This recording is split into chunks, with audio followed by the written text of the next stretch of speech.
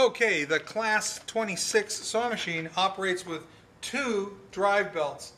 The one that is going around the hand wheel comes up through the table, but appropriate tension on the belt is about a half inch of compression between the belts when lightly pinched like this. Okay? If you have more compression, what you need to do is lower the speed reducer. This 14 millimeter nut or bolt gets loosened and then push the speed reducer down and tighten it back up. Okay.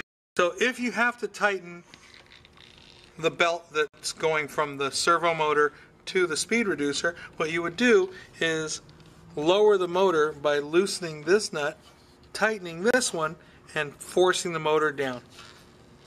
Cool.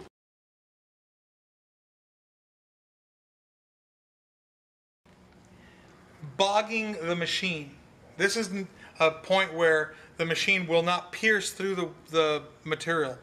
Okay, so the you're sewing along and the needle pushes against the leather and it won't go for some reason. Typically, this machine could pierce through practically anything, so you have slipping belt somewhere. So if this belt is compressing correctly, then you more than likely have a slip between the motor and the speed reducer. So you would adjust this belt.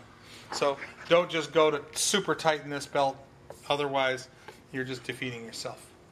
There are points where there's two set screws inside the hand wheel located underneath the V belt, and if the motor is spinning, the hand wheel is spinning, and the machine isn't going anywhere, then maybe there's a case where your set screws have come loose on the hand wheel.